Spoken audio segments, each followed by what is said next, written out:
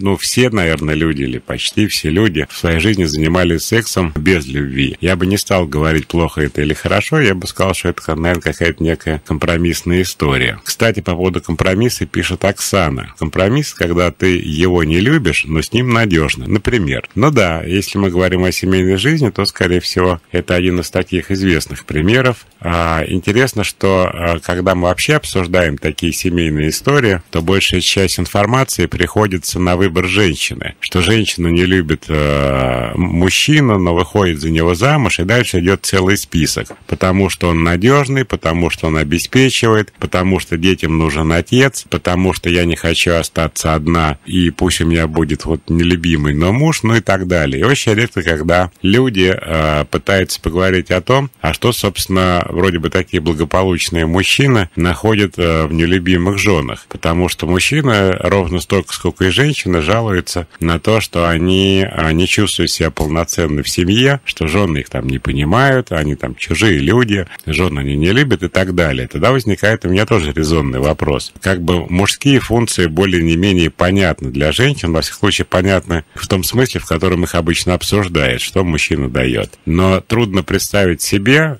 без обсуждения, мужчину, который как бы вот тот самый полноценный, замечательный, который может обеспечить любую женщину, я не знаю, уверенный в себе, он решает все проблемы, женщина себя чувствует с ним защищенной и так далее, а тогда спрашивается, а он что ищет в женщине, которую он не любит, почему он идет на такой шаг, что создает с ней семью, не испытывая к ней чувств. Это интересный, кстати, вопрос. И там, наверное, есть ответ, потому что, видимо, что-то не совсем так, э, как думается. Алина пишет, мне 21, Заканчиваю институт, ему 26, вместе 3 года, я хочу замуж, он еще не готов, скажите, рано ли жениться? Ну, рано, во-первых, Алина, точно рано. Во-вторых, если он, как вы пишете, называете его, своего жениха, он местоимением третьего лица, что тоже само по себе является сигналом к тому, чтобы задуматься. А, не готов, то а, с вашей стороны, ну не то чтобы прямо насилие, но какие-то не совсем а, такие отношения естественные, да, когда оба человека хотят одного и того же и делают это. Представим себе, что вы уговорите как-нибудь э, вашего молодого человека, которому 26 лет, жениться. Но он же этого не хочет, и если у вас ничего не получится, то как бы ответственность за эту ситуацию будете нести вы по той причине, что он вам всегда напомнит, что он э, не хотел жениться. Это вы его буквально заставили. Почему еще рано?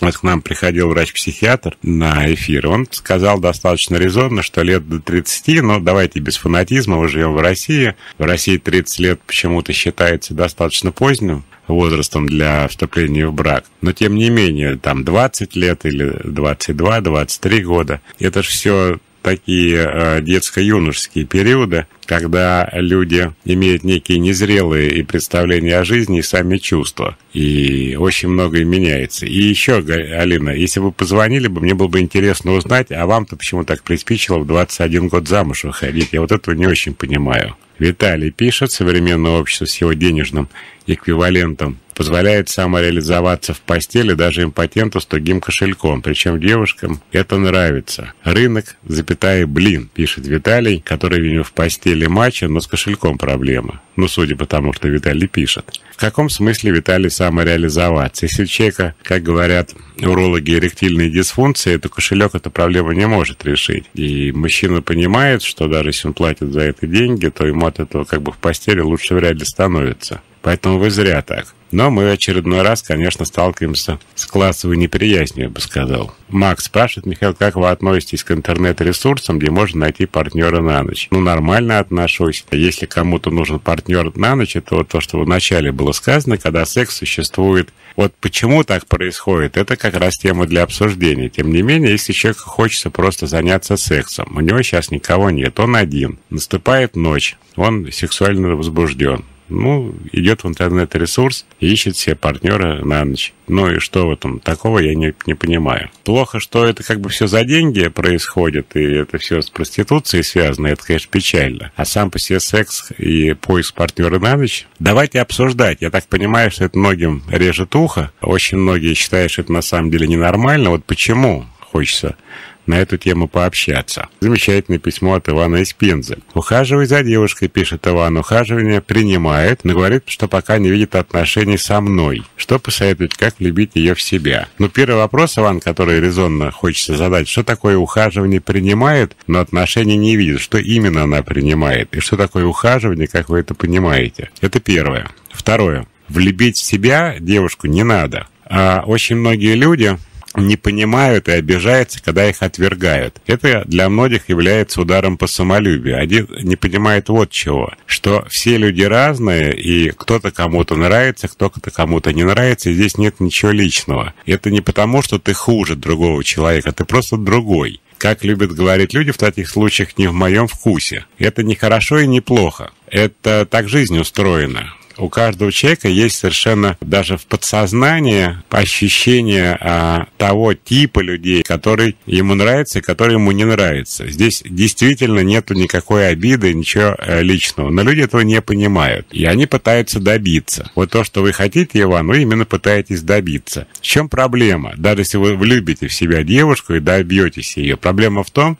что та причина, по которой вы ей не подходите, она все равно потом вылезет. Я приведу вам простой пример. Приходит в консультацию женщина по поводу развода. Ну, я задаю, естественно, вопрос, а вы когда, как встретились, как познакомились? Она говорит, вы знаете, ну, еще в институте мы познакомились, и он за мной ухаживал три года. Он так за мной замечательно ухаживал три года, что на четвертом году я ответил ему согласием. Друзья мои, давайте переведем теперь эту романтическую фразу на русский язык. Она звучит жестко и неприятно. Три года я ему не давала, но он меня так достал, что в результате я сломалась. И это, именно это так и выглядит. Потому что если ты ей нравишься, то не надо три года... Э, притом это не, это не то, что а, можно всю жизнь ухаживать за своей женой, просто ее любя. Но здесь человек, ухаживая, при, а, имеет некую цель. Я бы сказал, не совсем даже благородную. Он хочет добиться своего. Притом одни хотят это добиться в постели, другие хотят склонить к сожительству, третьи хотят женить на себе и так далее. Но вот это добивание в этой ситуации, мне кажется, совершенно неуместное. И самое главное, что люди получают некую сиюминутную выгоду, а это ухаживание напрямую связано с выгодой, чтобы ни у кого не было иллюзий. Человеку вообще наплевать на мнение другого человека. Ему все равно, что он ему не нравится, например. Его интересуют только собственные эмоции. И он действительно может добиться. Но вот та причина, по которой тебя отвергли, она, конечно же, всплывет. Не сразу, потому что некий период будет держаться или на влюбленности, который, как Иван хочет, кого-то вдруг проснется, или на каких-то собственных комплексах, одиночестве и так далее, и так далее, то, что иногда не от хорошей жизни соглашается на такой выбор. А потом, когда ситуация стабилизируется, человек опять придет в сознание и скажет, это вот тот самый, который три года за мной бегал, и я над ним смеялась. И все вернется на круги своя. И если в 20 лет не женишься, то в 30 лет понимаешь, что ты не дурак. Алекс, вы знаете, может быть, у вас такое отношение к браку негативное? Владимир, секс без любви извращение, секс следствие любви. В идеале. Ну, Владимир, тогда давайте соединим две части вашего предложения. В идеале да, но без идеала это не извращение, это просто секс без любви. Потому что в сексе, кроме такой душевной составляющей, есть еще физиологическая. Ее, собственно, никто не отменял. Люди, которые это не хотят признавать, они немножко инфантильно выглядят. Они такие идеалисты, и они а, как бы отвергают а, физиологическую часть секса. То, что партнеры рано или поздно будут люди на стороне, неизбежно, даже если все хорошо. Как к этому относиться? Ну, во-первых, относиться надо э, грустно к вашему заявлению. Очень жалко, что вы так считаете. Я думаю, что нам могут и позвонить, и написать многие люди, которые так не думают, и не просто не думают, они без этого как-то прожили. То есть ни рано и не поздно у них никого на стороне не было. Я не могу сказать, что этих людей много, но они есть. Поэтому относиться надо не как к данности, а надо э, самому быть каким-то человеком определенным, выбирать себе в партнера такого же человека, а это очень все связано. Какой ты, собственно, такой у тебя и партнер. Дело в том, что даже классические истории про бедную женщину, у которой муж тиран, там нет истории о том, что один из них плохой, а другой хороший. Это история, как правило, про Сада Маза. Это история о том, что одна э, ведет себя как жертва и выбирает себе мужа, который является тираном. И если бы она а, разрешила свою проблему и не была бы жертвой, то и мужа бы такого не было. Но обычно, когда а, такие истории рассказывают людям, они обычно одну половину этой семьи жалеют. Ну, естественно, ту, которая является жертвой. Тирана, соответственно, осуждают. Но тут нет виноватых, да? Тиран, он как бы сам мучается от себя, он агрессивен, он не может спокойно жить, и у него свои как бы тараканы в голове. Но жертва, она испытывает тоже, к сожалению, патологическую привязанность такого типа людям. И здесь вот, еще раз повторяю, не история, где один виноват, а другой э, жертва. Здесь история, ну, я бы слово «виноват» вообще не употреблял, история таких патологических отношений. Вот Алексей пишет, мне стали часто сниться эротические сны, что делать? Алексей, надо что-то с ними делать, с эротическими снами. Это замечательно, что они вам снятся. Михаил, обращаюсь к вам как специалисту. Мой сын Сережа совсем не хочет детей. Как мне его переубедить? Очень хочу внуков. Нина Ведерный, город Москва. Дорогая Нина, вам, во-первых, спасибо за сообщение. Это просто классика жанра. Мне заранее жалко вашего внука, потому что он появится на свет не потому, что его хотят и любят, а потому что бабушка просто хочет внуков, а папа детей не хочет. Как представляете, если потом отношения у папы с ребенком не сложатся по причине его нежелания иметь детей, вы объясните внуку, что у него такая тяжелая жизнь, и папа его не любит, потому что бабушка в свое время захотела иметь внука. Нина, возьмите себя в руки и подумайте. Я, конечно, понимаю ваше замечательное желание иметь внука, но дети как бы живые, и так с ним не надо поступать чтобы они э, закрывали чью-то проблему, и они вообще не сами по себе э, рожались на свет, а только потому, что кому-то через третье лицо еще, то есть не самим родителям этого ребенка, да, а маме одного из них – почему-то вдруг захотелось иметь детей. Я понимаю, собственно, это не вдруг, это совершенно здоровое желание иметь внуков. Я надеюсь, что ваш сын Сережа, я не знаю, сколько ему лет, а, когда-нибудь захочет иметь детей. Это должно быть потребностью. Конечно, очень часто у мужчин нет такой потребности биологической, как у женщин иметь детей, но само желание иметь детей уже достаточно для того, чтобы хотя бы ребенок родиться в семье, где его просто ждут. Притом его ждет не бабушка, другой семье, а как бы родные родители. Олег из Вологды, здравствуйте.